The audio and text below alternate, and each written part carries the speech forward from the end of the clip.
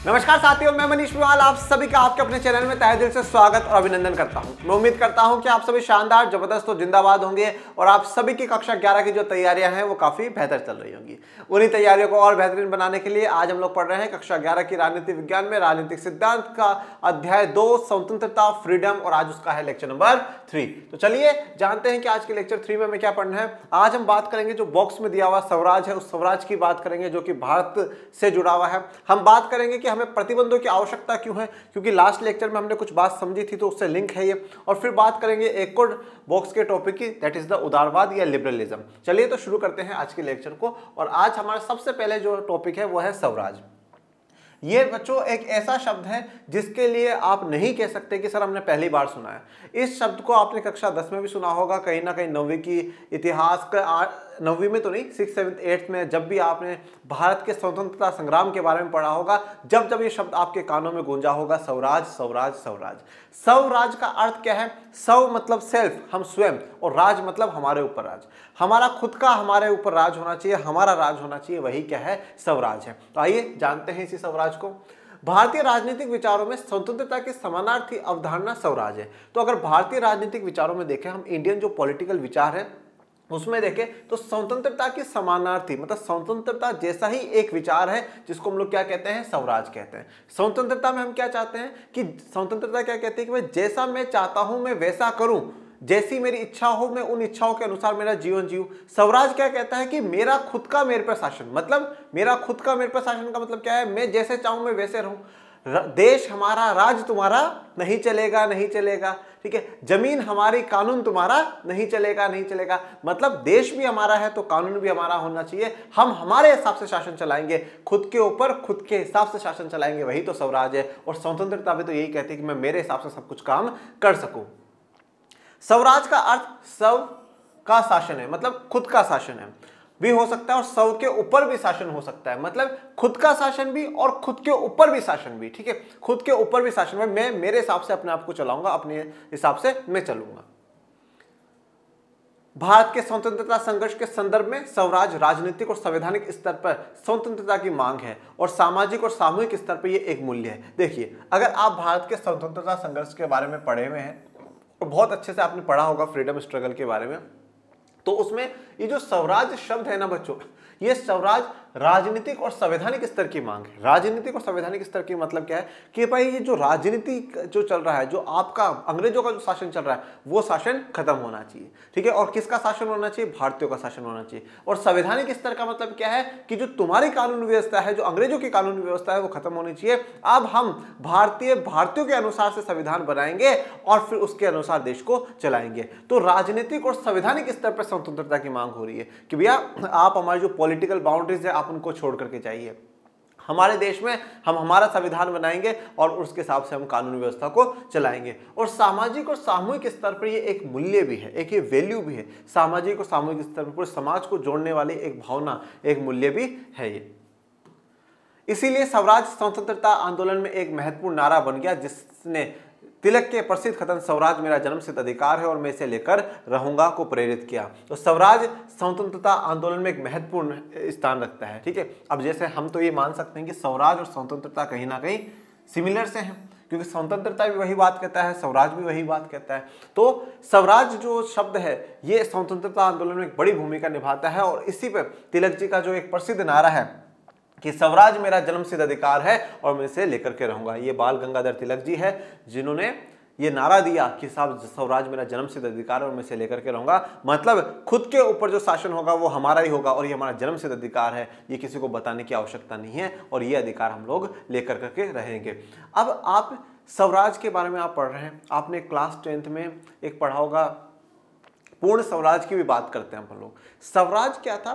कि स्वराज की भावना चल रही थी बाल गंगाधर तिलक जी हैं और बाकी जो नेता हैं, वो स्वराज की बात कर रहे थे। उसके बाद 1929 1929 में एक ऐसी घटना होती है। उससे पहले एक घटना होती है साइमन कमीशन वाली। आपको याद हो मैं कुछ बातें याद दिला रहा हूँ। तो go back Simon, go back Simon के नारे लगते हैं। साइमन कमीशन का विरोध क्यों हुआ? क्योंकि साइमन कमीशन भारत में संविधान की रूपरेखा तैयार करने आया है। जो पहले कानून चल रहे थे, वो सही थे या गलत थे, उनको देखने के लिए आया और विरोध इस बात का था कि साहब वो जो जितने भी लोग थे, उनमें से एक भी भारतीय नहीं था।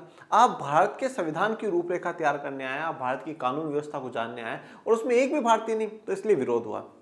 Go Simon, go. तो उस समय जो वाइस रॉय थे, जैसे कि मतलब जैसे आज प्रधानमंत्री जो सबसे बड़ी पोस्ट है, उसमें उस समय वाइस रॉय हुआ करते तो वाइस रॉय थे, उन्होंने एक घोषणा करी और वो ये कहा कि हम भारत को डोमिनियन स्टेटस दे देंगे। डोमिनियन स्टेटस का मतलब ये है कि भारत को हम आज़ाद कर देंगे, परंतु नाम मात्र के लिए भारत की जो हेड होगी, भारत का जो मुखिया होगा, वो वही होगा जो कि ब्रिटेन का राजा या रानी होगा। जो ब्रिटेन का मुखिया होगा वही भारत का भी मुखिया होगा नाम मात्र। वैसे उसका कोई बहुत बड़ा प्रभाव नहीं होता। सारे के सारे काम भारत ही संभालता, भारत की सरकार भारत की जनता ही संभालती, परंतु नाम मात्र ब्रिटेन का राजा या रानी रहता। अगर वो व्यवस्था अपना ली जाती तो आज राष्ट्रपति का पद नहीं रहता, प्रधानमंत्री का पद रहता और राष्ट्रपति जी जो काम करते हैं वो ब्रिटेन का राजा या रानी जो भी वहाँ पर होता वो करता। इस बात से कुछ जो भारतीय हैं वो तो खुश थे, चलो भाई ठीक है आज़ादी तो मिल जाएगी। डोमिनियन स्टेटस वाली आज़ादी भी ठीक है। परंतु जो युवा नेता थे, जैसे जवाहरलाल नेहरू जी, सुभाष चंद्र बोस जी, इन्होंने बोला, नहीं भैया, ये बात तो बिल्कुल गलत है। क्यों? तुम्हारा क्यों हम नाम मात्र का भी क्यों रखे भैया? हमें तो अब स्वराज नहीं, अब पूर्ण स्वराज चाहिए। अब हमें कंप्लीट फ्रीडम चाहिए। उस कंप्लीट फ्रीडम में क्या दर्शाया गया कि ये जो तुम कहते हो नाम मात्र, ये भी नीचे। ठीक है? देश के प्रथम पद से लेकर के अंतिम पद तक किसका राज होगा? भारतीयों का राज होगा। अब पूर्ण स्वराज चाहिए कंप्लीट स्वराज चाहिए इसलिए जब दिसंबर 1929 में लाहौर के अधिवेशन में कहा जाता है कि हम 26 जनवरी 1930 को हम एक प्रकार से आज़ादी का जश्न मनाएँगे और पूर्ण स्वराज की मांग हम सरकार से करेंगे। अब स्वराज नहीं, अब पूर्ण स्वराज की बात थी कि कंप्लीट फ्रीडम अब ये डोमिनियन स्टेटस स्टेटस नहीं चाहिए, हमें पूरी आज़ादी चाहिए। ओके तो स्वराज से पूर्ण स्वराज तक की कहानी मैंने आपको बता दी। स्वराज का आशय अपने ऊपर अपना राज भी है। स्वराज की यही समझ गांधी के हिंद स्वराज में प्रकट हुई। हिंद स्वराज के शब्दों में जब हम स्वयं पर शासन करना सीखते हैं, तभी स्वराज है। तो स्वराज का आशय, स्वराज का मतलब यह भी है कि हम अपने ऊपर शासन करना शुरू कर दें। हम अपने ऊपर अपने को कंट्रोल करना शुरू कर दें। गांधी जी का जो हिंद स्वराज एक किताब है, कब लिखी गई? 1909 में लिखी गई। तो उस 1909 की हिंद स्वराज किताब में गांधी जी का कहना है कि जब हम स्वयं पर शासन करना सीखते हैं, तभी स्वराज है। मतलब हम खुद पर शासन करना सीख जाए, तभी स्वराज है। अगर इसको आसान भाषा में ले तो क्या है कि मतलब जब हमारा खुद पर कंट्रोल हो, खुद पर भी कंट्रोल आजकल हमारा खुद पर कंट्रोल नहीं और हम दुनिया को कंट्रोल करने चलते हैं। आज खुद का कंट्रोल नहीं है, कभी छः बजे उठ रहा हूँ, कभी पाँच बजे उठ रहा हूँ, कभी आठ, कभी नौ बज रहे कभी रात को दो बजे सो रहा हूँ, ठीक है?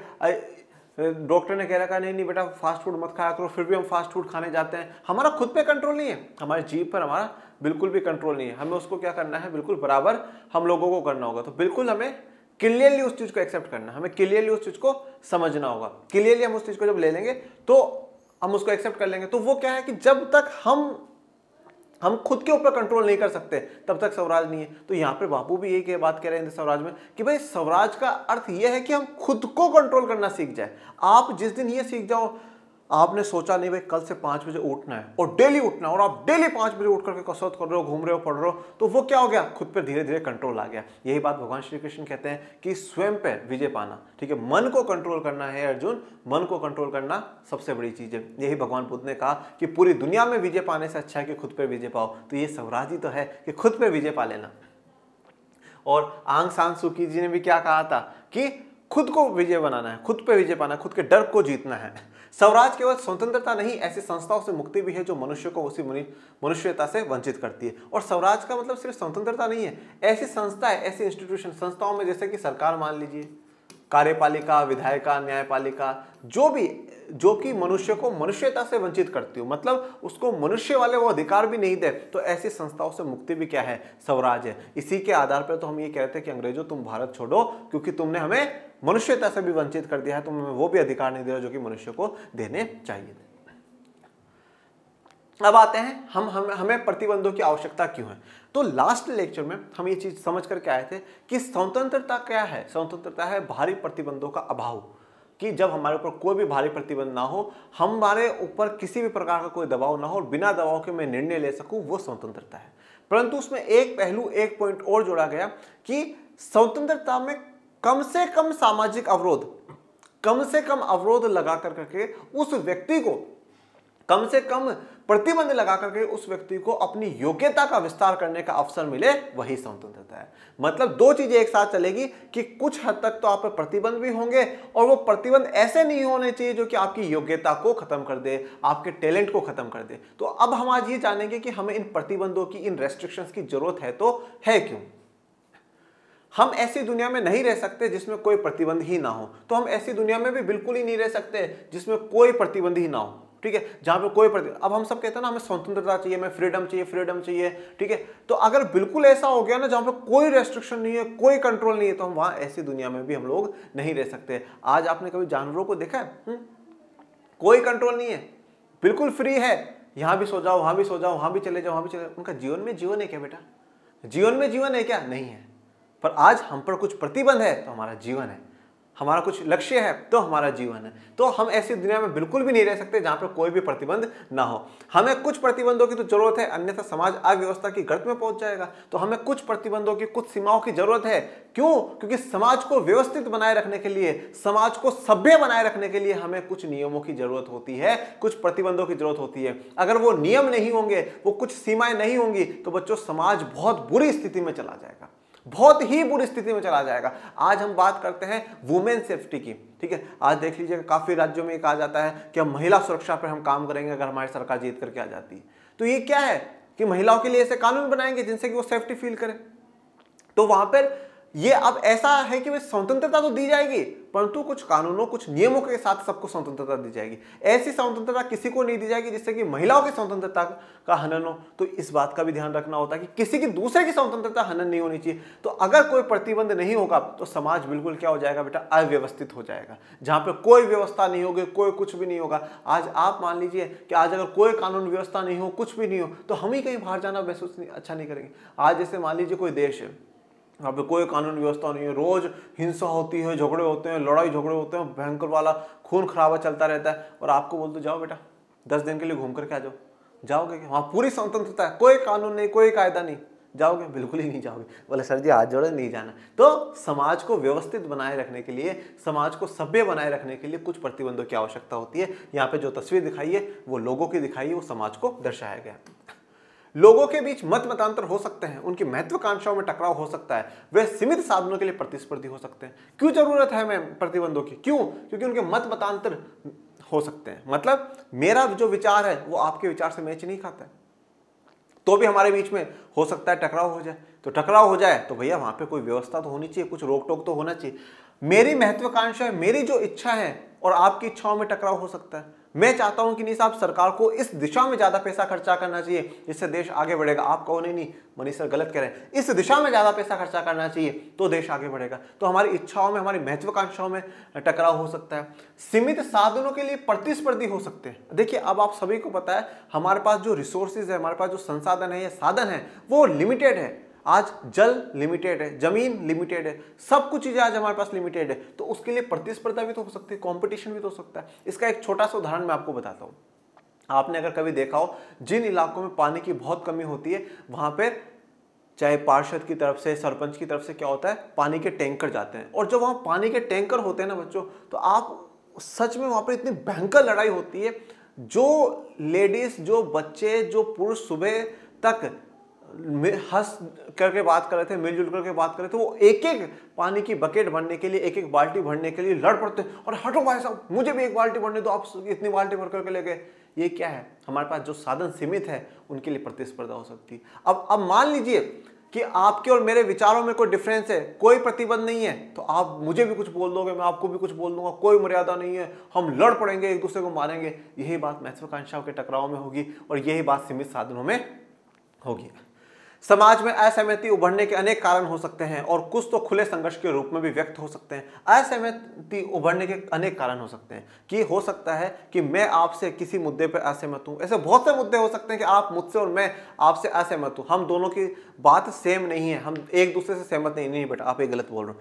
सर सर, आप ये गलत बता रहे हो। गलत बात है। तो हम काफ़ी बातें ऐसी हो सकती है जिस पर हम असहमत हो सकते हैं, लोग असहमत हो सकते हैं। जैसे छोटा सा उदाहरण, लोग पार्टियों को लेकर के असहमत, कोई कहता, नहीं साहब, बीजेपी ने बहुत अच्छा काम करा। बोले नहीं नहीं, साहब, कांग्रेस ने बहुत अच्छा काम करा। कोई किसी पॉलिसी को लेकर के असहमत हो सकता है। नहीं नहीं, साहब, सरकार ये पॉलिसी लेकर का एक नंबर पॉलिसी। काय की पॉलिसी? तो लड़ सकते हैं। असहमत होने के बहुत से रीजन हो सकते हैं, ठीक है? अब वो बहुत से रीजन जो हो सकते हैं तो उनको कंट्रोल करने के लिए हमें कुछ प्रतिबंधों की आवश्यकता है। और कुछ असहमतियाँ तो खुले संघर्ष में आ जाती लोग लड़ लेते हैं, झगड़े हो जाते हैं, ठीक है? हिंसा हो जाती है।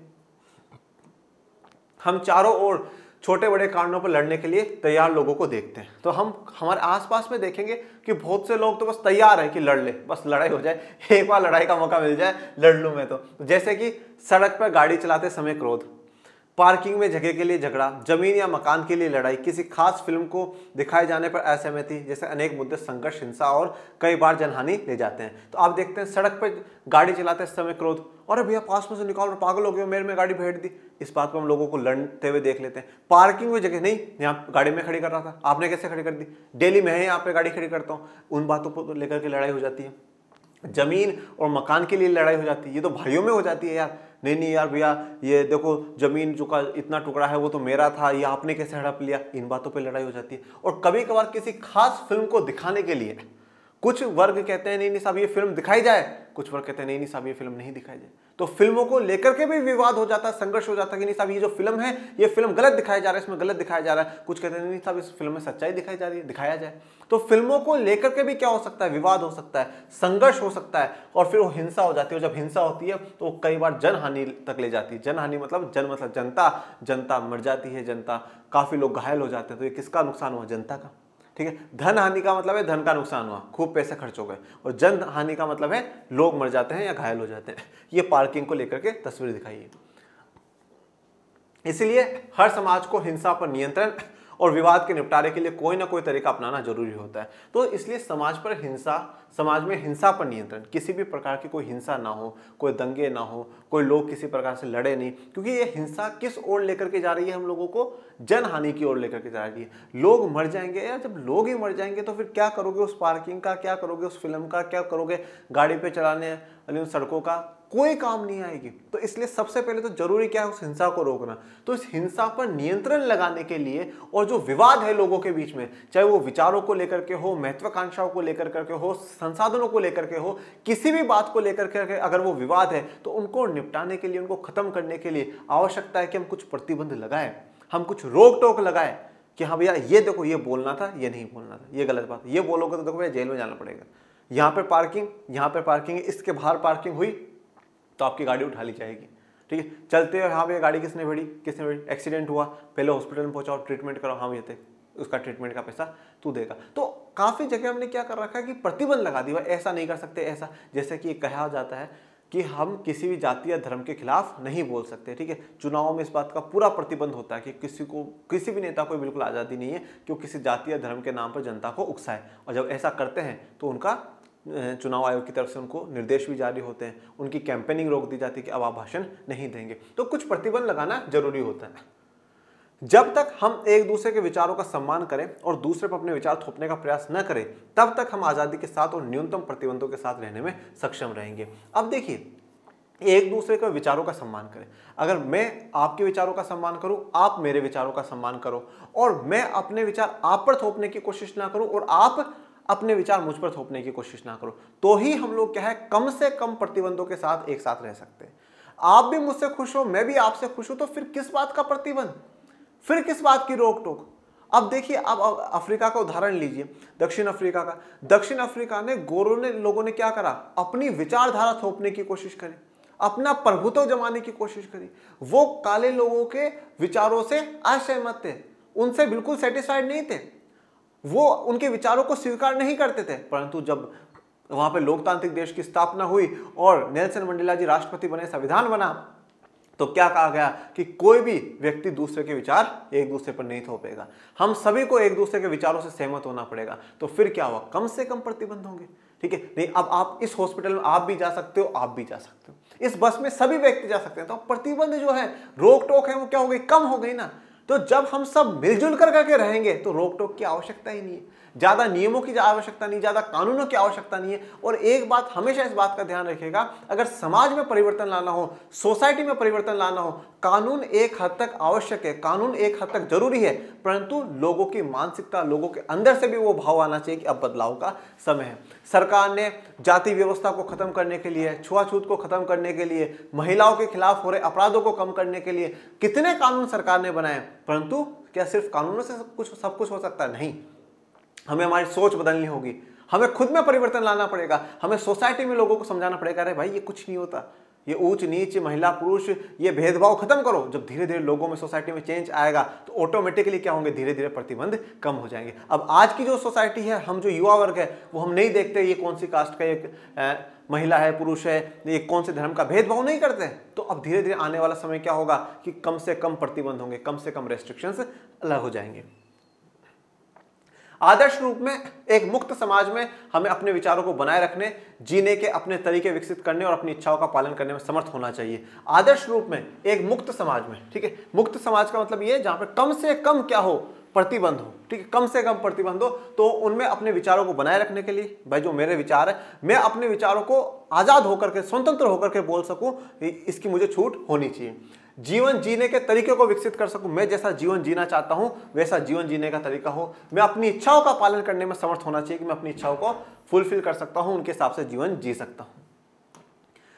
लेकिन ऐसे समाज के निर्माण के लिए भी कुछ प्रतिबंधों की आवश्यकता होती है। तो जब आप आदर्श रूप या आदर्श समाज की बात करते हैं तो वहाँ पर भी कुछ ना कुछ तो प्रतिबंधों की आवश्यकता होती है। कुछ ना कुछ रेस्ट्रिक्शंस कुछ ना कुछ रोक टोक की तो आवश्यकता होती है। मतलब सोसाइटी में अगर आप चाहते हैं कि आपके विचार बने रहे, ठीक है, परंतु ये तो गारंटी नहीं है ना कि आपके विचार सही है। ठीक है? या मैं कहूँ, मेरे विचारों की मुझे आज़ादी होनी चाहिए तो मेरे विचार सही है तो गारंटी नहीं है ना। तो उस ऐसा आदर्श समाज बनाने के लिए भी कुछ ना कुछ तो रोक टोक हमें लगानी ही होगी। जैसे कि फॉर एग्ज़ाम्पल आज हमें अभिव्यक्ति की आज़ादी दी गई। भारत के संविधान ने हमें कहा, आपको अभिव्यक्ति की आज़ादी है। आप अपने विचारों को एक्सप्रेस कर सकते हैं, परंतु ध्यान रखना है। कि आपकी अभिव्यक्ति के कारण किसी दूसरे की आज़ादी का हनन नहीं होना चाहिए। आप कोई ऐसा भाषण नहीं देंगे जिसके कारण कि दूसरे व्यक्ति या दूसरे समुदाय को ठेस पहुँचे, ऐसा भाषण नहीं।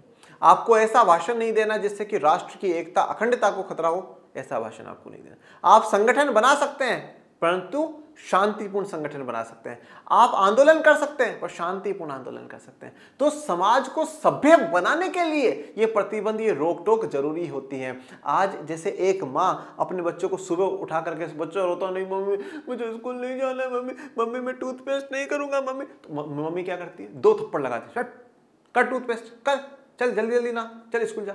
अब वो क्या है? वो रोक टोक वो मार किस लिए है? बच्चे को बेहतर भविष्य देने के लिए। तो उसी प्रकार के समाज को, सभ्य लोगों को बेहतर बनाने के लिए क्या ज़रूरी है कि कुछ रोक टोक कुछ प्रतिबंध हो? ये क्या है? सोसाइटी को दर्शाया गया है कि यहाँ पे डॉक्टर, वकील, इंजीनियर सब लोग हैं।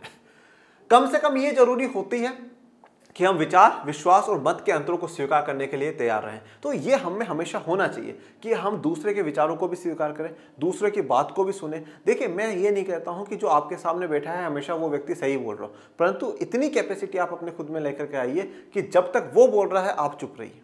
आप उसकी बात को अच्छे से सुनिए। और अगर आपको उसकी बात का जवाब है तो जवाब दीजिए कि, सर, यहाँ पे जो ये आप बोल रहे हैं, ये गलत है। मैम, आपने जो कहा ये बात गलत है। ये गलत है। मैं यह वाली बात यहाँ से इस पॉइंट से कट करता हूँ और इसका मेरे पास ये प्रूफ है। पर पहले उस व्यक्ति की पूरी बात सुनी और लगता है आपको कि नहीं साहब, इस व्यक्ति ने जो बात बोली है वो सच में मानने योग्य है, उसका विचार सच में बहुत बेहतरीन है तो हमें मानना चाहिए। हमें उस बात को मानना चाहिए, उसको एक्सेप्ट करना चाहिए और उस पर अमल करना भी चाहिए। कभी कभी हमें लग सकता है कि हमारी प्रबल आस्थाओं के लिए ज़रूरी है कि हम उन सब का विरोध करें जो हमारे विचारों को खारिज करते हैं या उनसे अलग राय रखते हैं। तो कभी कभार हमारी जो आस्था होती है, जहाँ पर हमारा विश्वास होता है या जिन पर हम ज़्यादा पसंद करते हैं तो उनके, हमें कभी कभार ऐसा लगता है कि यार हमें, हमारी आस्थाओं को, हमें हमारे विश्वास को, उन सबको बनाए रखने के लिए कुछ चीज़ों का, कुछ चीज़ों का विरोध करना ही पड़ेगा, जो कि इन बातों को, इन हमारी आस्थाओं को खारिज करते हैं या अलग राय रखते हैं। हमें कुछ विचार या जीवन शैली अस्वीकार्य अवांछित लग सकते हैं। ऐसी स्थिति में कुछ ऐसे कानूनी और राजनीतिक प्रतिबंध होने चाहिए, जिनसे यह सुनिश्चित हो सके कि एक समूह के विचारों को दूसरे पर आरोपित किए बिना आपसी अंतरों पर चर्चा और वाद विवाद हो सके। तो अब कुछ विचार या जीवन शैली ऐसी हो सकती है जो कि हमें अस्वीकार्य लगे, हमें अच्छी नहीं लगे कि नहीं साहब, ये जो विचार ये कोई का विचार का विचार है? अस्वीकार्य, ऐसा विचार होना ही नहीं चाहिए। अवांछित हो, ऐसे जिन विचारों को हम चाहते ही नहीं है, या जिस जीवन शैली को हम चाहते ही नहीं है हो सकता है वो अस्वीकार्य हो, अवांछित हो। परंतु उन पर भी वाद विवाद करने के लिए, उन पर भी चर्चा करने के लिए कुछ कानूनी और राजनीतिक प्रतिबंध होने चाहिए। ठीक है? कानूनी और राजनीतिक प्रतिबंध के दायरे में ही आप उन पर चर्चा कर सकते हैं। कि हाँ साहब देखिए, इससे, इस लिमिट से ज़्यादा आपको नहीं बोलना है। आपको कोई गाली गलोज कर करके नहीं बोलना है। आपको जो बात बोलनी है फैक्ट्स के साथ बोलनी है। तो अगर हम वाद विवाद करें, अगर हम चर्चा भी करें तो वो भी कानूनी और राजनीतिक प्रतिबंध के दायरे में होनी चाहिए। यहाँ पर भी हमें प्रतिबंधों की ज़रूरत है। यहाँ पर भी हमें कुछ सीमाओं की ज़रूरत है। बदतर स्थिति में हमें किसी के विचारों से एक रूप हो जाने के लिए बाध्य किया जा सकता है। और जब स्थिति बहुत ही ज़्यादा खराब हो जाए तो हमें विचारों से एक रूप हो जाने के लिए बाध्य भी किया जा सकता है। कभी कोई कह सकता है कि नहीं साहब, आपको ये विचार मानना ही पड़ेगा। मानिए, आप हमारे विचार को स्वीकार करिए। आप हमारे विचार को आपको स्वीकार ही करना पड़ेगा। नहीं करोगे तो आपको मार दिया जाएगा। या तो आप हमारे विचार को स्वीकार करिए, या आपको मार दिया जाएगा। कक्षा दस की श्रीलंका की कहानी पढ़ी है सिन्हालाओं ने क्या बोला कि तमिलों को कि आप हमारी संस्कृति को स्वीकार करिए, नहीं तो राष्ट्र छोड़ करके चले जाइए। संस्कृति को स्वीकार करिए या राष्ट्र छोड़ करके चले जाइए। तो सिन्हाला क्या कर रहे थे? जो अपनी विचारधारा है, वो थोपने की कोशिश कर रहे थे। ऐसी स्थिति में हमें अपनी स्वतंत्रता को बचाने के लिए कानून के संरक्षण की और भी ज़्यादा ज़रूरत हो जाती है। और जब कोई व्यक्ति अपने विचार हम पर थोपने की कोशिश करता है, हमें खुद के विचार मानने के लिए बाध्य करता है तो हम कोर्ट जा सकते हैं और जज अंकल को कह सकते हैं, जज अंकल जज अंकल, देखो, मुझे भारत के संविधान ने स्वतंत्रता का अधिकार दे रखा है, परंतु ये व्यक्ति कहता है, नहीं, मेरे विचार मानो। ये व्यक्ति कहता है मेरी बात मानो। हमारी जो बात है, उसी बात को मानो, वही बात सही है। तो हम कानून की तरफ़ जा सकते हैं। बच्चों, कानून का संरक्षण बड़ा ज़रूरी है। आज कानून का विश्वास बना रहना बड़ा ज़रूरी है, ठीक है? आज बहुत कुछ गलत होता होगा, ठीक है? तो हम ये सब कुछ क्या है? एक विश्वास है कि नहीं, हमारी न्यायपालिका है, वो सब सही कर देगी। वहाँ का दरवाज़ा हमेशा खुला रहता है और वहाँ का दरवाज़ा जब तक खुला है, तब तक मन में विश्वास है। और वो विश्वास क्यों है? क्योंकि कानून का राज है। तो कानून का राज, और कानून का राज क्या कहता है कि हर हर स्वतंत्रता पर कुछ प्रतिबंध ज़रूरी है। अब जैसे कि शादी होती है किसी की, या कोई भी फ़ंक्शन होता है तो डीजे बजता है, ठीक है? ढोल वोल बजते हैं, बैंड वैंड बजता है, डांस वांस होता है। स्वतंत्रता दी गई, बिल्कुल यार, शादी जीवन में बार बार थोड़ी होती है, ठीक है? विदेशों में तो वो भी बार बार में हो जाती है। ठीक है? वो तो इंडिया में है कि एक बार होती है। तो शादी बार बार नहीं होती भैया, बिल्कुल इंजॉयमेंट होना चाहिए डांस वांस होना चाहिए। अब पर यह स्वतंत्रता दी गई पर इस पर कुछ प्रतिबंध लगाया। रात को दस बजे बाद क्लोज आप दस बजे, सुबह छः सात बजे के बाद आप दस बजे तक बजाओ। परंतु रात को दस बजे तो सोने दो यार लोगों को। फिर उनकी स्वतंत्रता क्यों खराब करो? तो स्वतंत्रता दी, पर कुछ रोक लगा दी आप। हालाँकि महत्वपूर्ण सवाल यह पहचानने का है कि स्वतंत्रता पर कौन सा प्रतिबंध आवश्यक है और औचित्यपूर्ण है और कौन सा नहीं। तो सवाल वही है कि कौन सा प्रतिबंध आवश्यक है और कौन सा सही है और कौन सा नहीं। कौन सी सत्ता औचित्य पूर्वक ये कह सकती है कि क्या किया जा सकता है और क्या नहीं? और कौन सी सत्ता, कौन सी पावर कौन सी सरकार ये कह सकती है औचित्य पूर्वक तरीके से, सही तरीके से कह सकती है कि भाई ये किया जाना चाहिए और ये नहीं किया जाना चाहिए। और इसके लिए हमें क्या करना होगा? हमें व्यक्ति को और समाज को समझना होगा कि व्यक्ति और समाज की क्या संरचना है। उनकी व्यक्ति और समाज की संरचना को समझना होगा और उसी के बाद हम कह सकते हैं कि ये सही है या गलत है। जैसे कि फॉर एग्ज़ाम्पल मैं आपको उदाहरण देता हूँ। आज भारत में आप देखते हैं कि दलितों के लिए, आदिवासी समुदाय के लिए, पिछड़ी जातियों के लिए आरक्षण की व्यवस्था करी गई क्यों करी गई क्योंकि इनका जो इतिहास है, वो हज़ारों सालों से ये रहा कि वंचित रहे, पिछड़े रहे। तो कुछ लोगों को लग सकता है कि नहीं साहब, ये जो व्यवस्था है, ये गलत है। परंतु उनको आगे लाने के लिए, उनको जोड़ने के लिए कुछ थोड़ी स्वतंत्रता जो है, वो एक्स्ट्रा दी गई। आज महिलाओं के सुरक्षा के लिए कुछ कानून बनाए गए हैं, या उनको कुछ विशेष प्रावधान दिए गए हैं तो हो सकता है कुछ लोगों को ऐसा लगता हो कि नहीं साहब, ये गलत है। परंतु महिलाओं को बराबरी का अधिकार देने के लिए उनको मुख्य धारा में जोड़ने के लिए ऐसा काम करना ज़रूरी है। तो हमें व्यक्ति और समाज को समझना ज़रूरी है। आप अमेरिका में जाएँगे तो अमेरिका में जो अश्वेत लोग हैं, उनके लिए कुछ विशेष प्रावधानों की बात है। हम पढ़ेंगे शायद, अगले अध्याय में पढ़ेंगे अफर्मेटिव एक्शन की बात करेंगे। तो वहाँ पे कुछ विशेष प्रावधान उनके लिए करेंगे अब वहाँ पे जाति की व्यवस्था नहीं है, लिंग के आधार पर ज़्यादा डिफरेंस नहीं है, ज़्यादा डिस्क्रिमिनेशन नहीं है। तो वहाँ के समाज को समझा कि भाई रंग के आधार पर थोड़ी ज़्यादा परेशानी है। तो उस हिसाब से कुछ व्यवस्थाएँ करें, कुछ प्रतिबंध लगाए, कुछ हटाए, ऐसा। तो व्यक्ति और समाज को समझना ज़रूरी है, इनका रिश्ता समझना ज़रूरी है। फिर हम कह सकते हैं कि भैया, यहाँ पर ये जो प्रतिबंध लगा हुआ है, वो सही है और ये प्रतिबंध जो लगा हुआ है, वो गलत है। और क्या हमारे जीवन के कुछ क्षेत्र और कार्य ऐसे हैं जिन्हें सभी भारी प्रतिबंधों से मुक्त छोड़ दिया जाना चाहिए? और क्या जीवन में कुछ ऐसा क्षेत्र मतलब कोई ऐसा एरिया जहाँ पर हमें कुछ काम करना हो या हमारे कोई ऐसा मुद्दा जिस पर हमें बिल्कुल फ्री छोड़ देना चाहिए, वहाँ पर तो कोई किसी भी प्रकार का प्रतिबंध होना ही नहीं चाहिए, ये भी सवाल है। देखिए, बोल नहीं रहा है, पूछ रही है अभी किताब। अभी बोल नहीं रही क्वेश्चन मार्क है। क्वेश्चन मार्क में ध्यान रखेगा पूछ रहा है कि क्या ऐसा होना चाहिए, कौन सा ऐसा एरिया है जिसमें बिल्कुल हमें आज़ाद छोड़ देना चाहिए? फिर बात करते हैं उदारवाद की। एक विचार, उदारवाद। लिबरलिज्म। अब इससे आपको शब्द से ही पता चल गया, उदारवाद। वाद तो जहाँ जहाँ पर लगता है, जहाँ जहाँ पर बेटा आईएसएम लगता है या हिंदी में ये वाद लगता है, वो क्या दर्शाता है? ये विचारधारा को दर्शाता है। ये आइडियोलॉजी को दर्शाता है बेटा। ये आइडियोलॉजी को दर्शाता है, विचारधारा को दर्शाता है। जैसे हम कहते हैं गांधीवाद तो गांधी जी के जो विचार थे उन विचारों को मानने वाला, उन विचारों की पूरी जो प्रक्रिया है, उसको हमने क्या कहा? गांधीवाद। हम समाजवाद, हम पूंजीवाद पढ़ते हैं, जिनके पास इकोनॉमिक्स है, उन्होंने समाजवाद, पूंजीवाद पढ़ा है, और पॉलिटिकल साइंस वाले ट्वेल्थ में पढ़ लेंगे। ओके तो समाजवाद, पूंजीवाद, अब इसी प्रकार से उदारवाद है। उदार का मतलब लिबरल का मतलब आप क्या समझते हैं? बिल्कुल उदार। फिर कोई बात ऐसा कर लो। खटोर नहीं है। खटोर नहीं है। जैसे आप देखते हैं कि कुछ लोगों के माता पिता बहुत कठोर होते हैं। बच्चे उनके सामने बोल भी नहीं पाते। जी, पापा जी। ठीक है यही को बहुत कठोर होते हैं। आठ बज गए। आठ पाँच पर तो घर में आया निकल घर से बाहर। वो कठोर होते हैं। कुछ, कोई बात नहीं बेटा, आ जाओ। कोई बात नहीं। कैसे लेट हो गए थे? कोई बात नहीं, बैठ जाओ। पापा जी, मैं ये काम ऐसे करना चाहता हूँ। हाँ कोई बात नहीं। वो उदार है लिबरल है। आपने कुछ टीचर्स देखे होंगे जो बहुत कठोर होते हैं। काम नहीं करा तो मारेंगे, डांटेंगे। बहुत भयंकर तरीके से। कुछ होते हैं, सर, आज काम नहीं कर कोई बात नहीं बेटा, कल कर लेना ठीक है, आगे से ध्यान रखना, पर आगे से ऐसा नहीं होना चाहिए। तो उदारवाद बस उसी उदारवाद की बात हम लोग कर रहे हैं।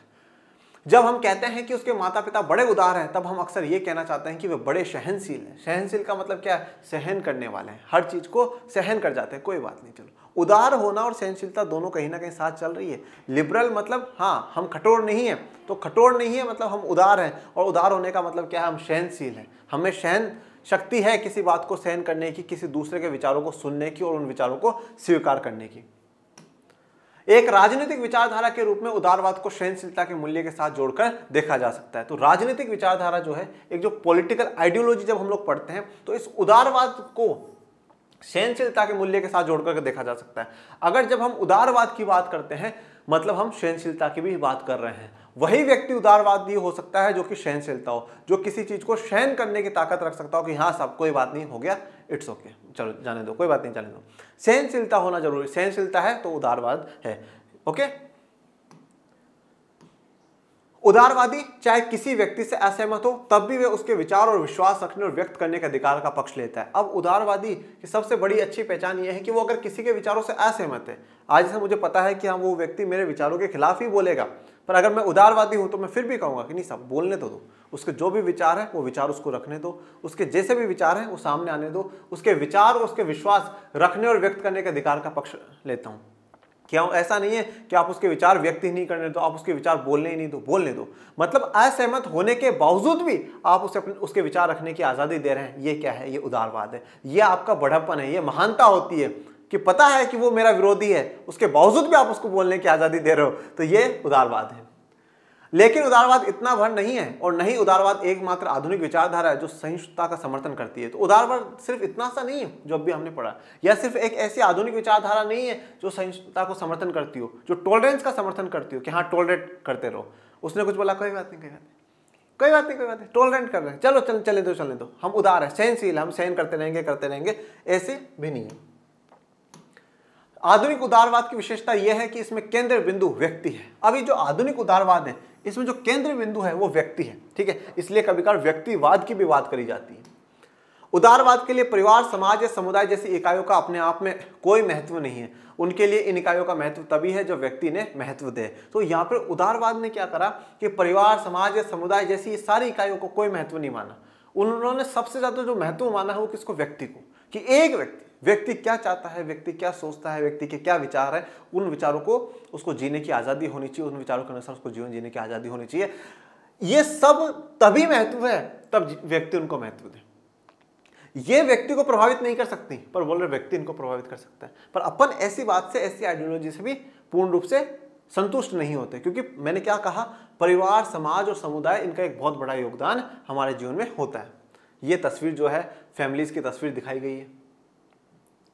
उदाहरण के लिए उदारवादी कहेंगे कि किसी से विवाह करने का निर्णय व्यक्ति को लेना चाहिए परिवार जाति या समुदाय को नहीं। तो अब उदाहरण के लिए उदारवादी कहते हैं कि विवाह करने का जो निर्णय है ना वो परिवार को जाति समुदाय को लेना चाहिए। किसी व्यक्तिगत को नहीं आ, मतलब इनको नहीं लेना चाहिए किसी व्यक्तिगत को लेना चाहिए। परंतु देखो बच्चों परिवार में जब हमारे बड़े जो हमारे माता पिता हैं, दादाजी दादाजी हैं, वो जब रिश्ता देखते हैं ना, वो हमारे लिए बहुत कुछ देखते हैं। जैसे कि मान लीजिए कि आज मैं हूँ और मेरे लिए लड़की देखने गए हैं मेरे माता पिता तो वो देखेंगे कि हाँ भैया बच्ची जो है वो संस्कारी है या नहीं है, हमारा मनीष जितना पढ़ा हुआ है, वो उतनी पढ़ी हुई है या नहीं है, दोनों के विचार तो सेम है या नहीं है, फैमिली का जो स्टेटस है वो भी देखते हैं कि देखो देखो ये कहा जाता है भारतीय संस्कृति में कि रिश्तेदारी हमेशा बराबरी में ही करनी चाहिए।